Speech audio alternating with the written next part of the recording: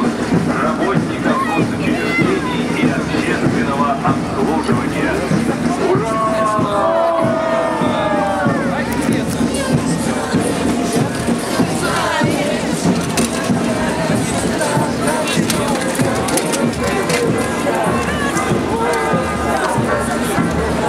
Хорошо тебе, тебе